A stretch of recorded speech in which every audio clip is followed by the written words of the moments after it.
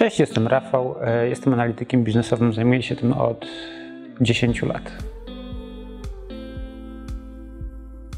Głównym zadaniem analityka w projekcie jest zdobycie wiedzy mm, na temat tego, czego oczekuje klient, zrozumienie potrzeb klienta, e, tak żeby mm, być w stanie wspierać zespół deweloperski w budowaniu rozwiązania. W zespole deweloperskim analityk biznesowy jest osobą, która zna odpowiedzi na wszystkie trudne pytania dotyczące biznesu klienta i wymagań klienta.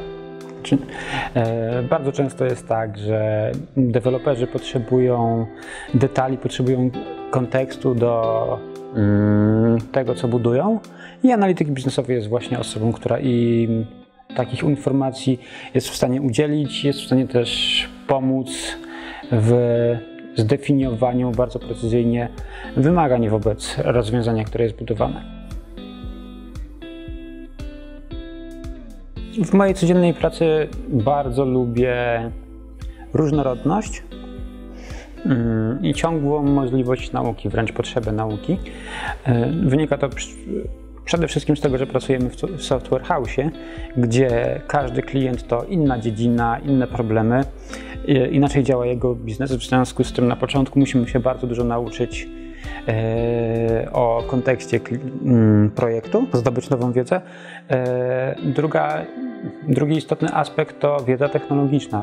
Wykorzystujemy nowoczesne technologie i żeby być w stanie pracować e, z zespołem deweloperskim, musimy je rozumieć. W związku z tym w zasadzie każdego dnia uczę się czegoś nowego. To jest dla mnie bardzo, bardzo atrakcyjne.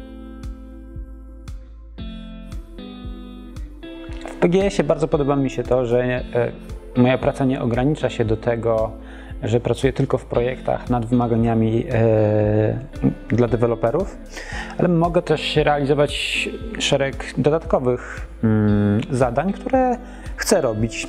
Więc uczestniczę w konferencjach, e, bywam prelegentem, prowadzę webinary, wspieram naszych sprzedawców e, w kontaktach z nowymi klientami, pomagam e, marketingowi w tworzeniu materiałów opisujących nasze usługi, więc poza taką codzienną pracą projektową jest dużo miejsca na rozwój i robienie rzeczy, które wykraczają poza zakres roli analityka biznesowego.